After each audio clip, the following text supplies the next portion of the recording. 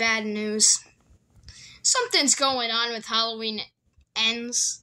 That's coming out this year, October. Um, should be coming out around the time of Halloween Kills. Uh, it's suspected Michael Myers is gonna win. Meaning, all these movies of Laurie Strode trying to kill Michael Myers for like 30 years comes to an end and he wins anyway. But we're talking about the new timeline, which is the original movie, Halloween 2018, and then Halloween Kills, and then it'll be Halloween Ends. But still, that's like 30, 20 years. And I don't want them to be pulling a Texas Chainsaw Massacre, which that movie was garbage, and I will make a review on it. Um, if y'all want it, if we get like two likes, I'll I'll make a review on it. I don't care. Um, it's good. It was okay. It was actually terrible though, kind of. That actually makes no sense. It was bad, but I kind of enjoyed some of the scenes. But yeah. Uh, but yeah, it's suspected that Michael might win, and it's a surprising twist.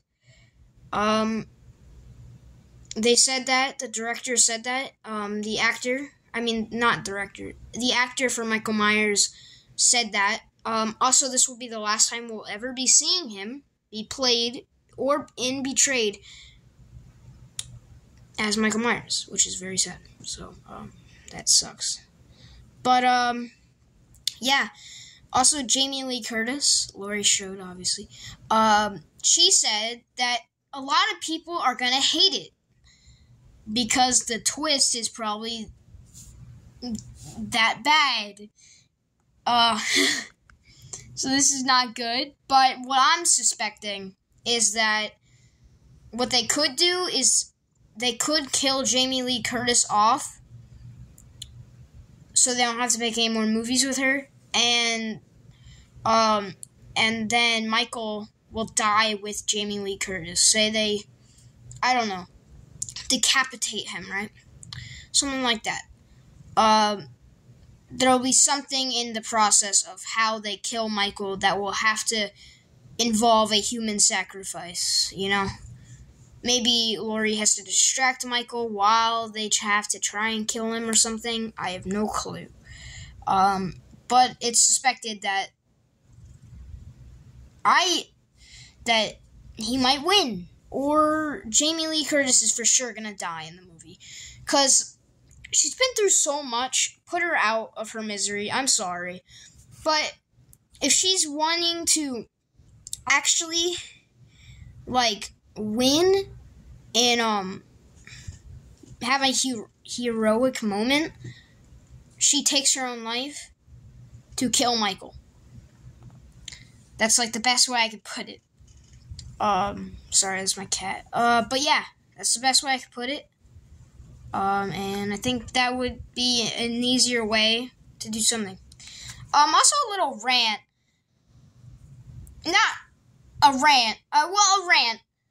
Um, they better not, um, have him win. I'm gonna be so mad. I'm gonna be done. I'm gonna be mad. They're gonna pull a Lord of the Rings and like completely ruin it with a good moment, which they don't want to do because they want to keep it good, right? Like they pulled off Scream Five well. Like if they do something like that, where they could kill off one character, but that ends up that character ends up like help like saving them, kind not saving them, but like his sacrifice wasn't in vain. They still killed the killers, right? Is what I mean. Um maybe I'm just extending this video. I'm not trying to, but um I'm trying to put it the best way I could. Um but yeah, let's hope they don't pull that. And also, we already have some set um, clips of um, a grocery store and a mask, meaning this is either taking place last year or this is taking place in 2020.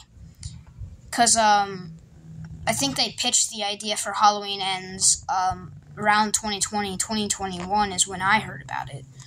Because um, that's when I started getting right back into horror in 2020.